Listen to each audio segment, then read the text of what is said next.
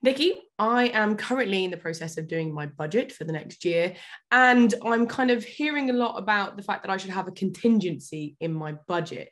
Sort of why should I, and what things should be in that contingency?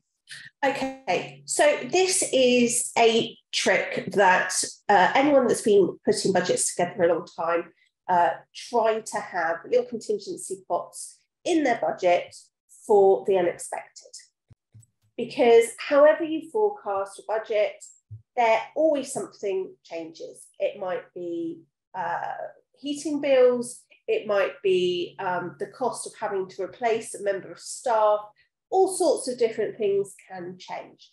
Therefore, it's very sensible to have some contingencies in your budget. Now, when you're in a huge organisation, the uh, management cotton onto this. So they try and cut down as much as possible. But so that's why it's useful. Um, I mean, we're talking more about SMEs here, but it still applies the same. It's useful to have a few different pots. So, for example, in my budgets, I have a straight one line that does say contingency.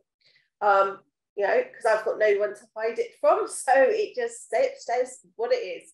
Uh, but then also, not just having my contingency line, I also do have in some of the other costs, I have buffered in a little bit extra as well.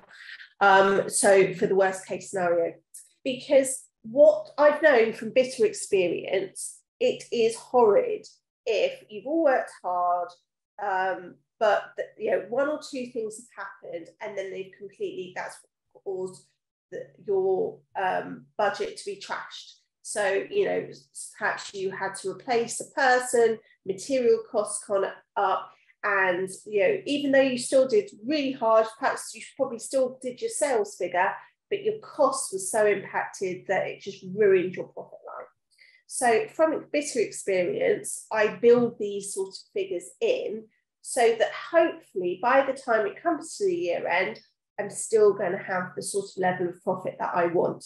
Um, because you you you it's very hard to foresee the unexpected, but you can budget for the unexpected.